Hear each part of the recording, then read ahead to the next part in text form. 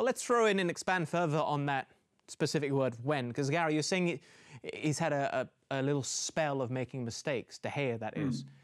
But for a lot of fans, it seems to, to go back to the World Cup where he let a Ronaldo shot creep in. And that yeah. was the whole of last season. And we saw quite a few errors. Even before the World Cup, there were a few creeping in. And this season as well. I mean, how long does a spell have to go on for before you really start questioning can the club improve by having someone else in goal? Well, well there's, there's no doubt, in my opinion, that unless you have a world class goalkeeper who is on top of his game, you aren't going to win very much. It's as simple as that.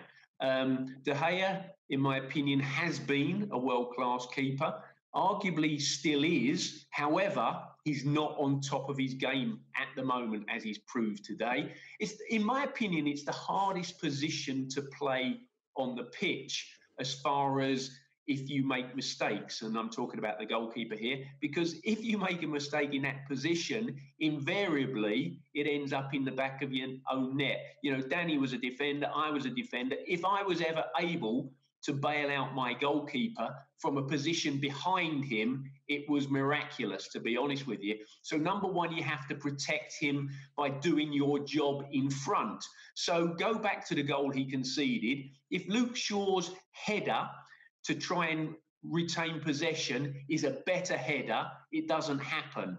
When Bergwijn gets the ball, if Harry Maguire and Lindelof defend better against Bergwijn, the shooting opportunity doesn't come along. Now it's the last opportunity to solve the problem.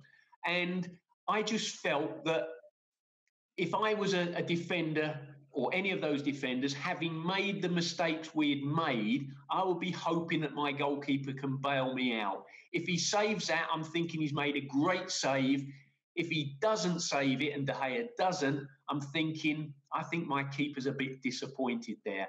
Um, would I want to be a goalkeeper? No, absolutely not. Um, I don't think there's more I can say about it, but I do I do believe that to write De Gea off at this stage, and I believe that Roy Keane has basically come out and said he has to go. Um, to, to state that at this moment in time, I think is unnecessary and inaccurate. Uh, yeah, I believe he also called him overrated, wouldn't let him back on the team bus, and uh, a few other words thrown in there for good measure as well. But when you also look at the fact that in terms of saves, amount of saves in a Premier League season, very rarely do you have a Manchester United goalkeeper on top, or any of the top six for that matter, simply because they don't face as many shots as a team who's in the bottom half of the table. So therefore, it should be worrying the frequency that we're talking about mistakes from De Gea, because he is facing fewer shots than a lot of other goalkeepers, just because he's playing yeah. for Manchester United. So how much of him are we going by reputation as opposed to performance on the pitch, Dan? Well, I, th- I, think I think the problem that United have had over recent seasons is that I think he's got Player of the Year twice for the club, and more than you know, twice. For, yeah, more than twice. And and with all the goodwill in the world, you don't want your goalkeeper to to be your Player of the Season. But the one thing I would say is that when you look at top goalkeepers, the reason they are top goalkeepers is because they can be redundant for for so much of the match and then just have to switch on. Whereas sometimes when you have keepers near the bottom of the Premier League, they're always constantly, they have to be switched on, they have to be switched on. So at times it can actually be more difficult being at a top club because you don't have to face as much. So you expect it to go from zero to 100 in no time. Um, but I think that hey, you know, he will know that this is a mistake, and I think what's happened, what's happening is every mistake that's that's made, and as Gary's quite rightly said, he has made a few mistakes in you know the last season or two. Everyone every time he makes a mistake, oh, what's going to happen with him now? Is he in the right frame of mind? You know, there was that talk of him going to Real Madrid. I don't think there. I, I still think that he's a top class goalkeeper. Does it concern me that he's starting to make a few mis- few more mistakes? Yes, it does because I look at that that save today, and like I say, I'm not a goalkeeper. If he had have saved that, it would have been a good save but it wouldn't have been a world class save because then a few minutes later you see the save that he makes to tip to tip the header over the bar, quite similar to Lloris's. Yeah. So we know what he's capable of, but he does need, you know, the consistency. All right, final question on De Gea. How long should you be giving him to really maintain his position as number one at Manchester United, bearing in mind they have someone like Dean Henderson, who's out on loan at another club, who's performing miraculously throughout the course of the season and looks like the anointed successor.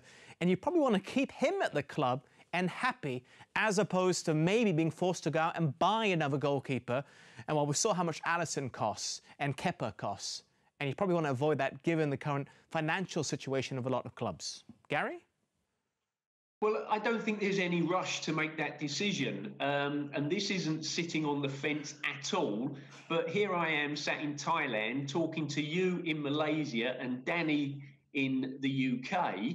Um, the people who are closest to the situation, the goalkeeper coach at Manchester United, Ole Gunnar Solskjaer at Manchester United, the other coaching staff at Manchester United, they are the ones that really know where the situation is.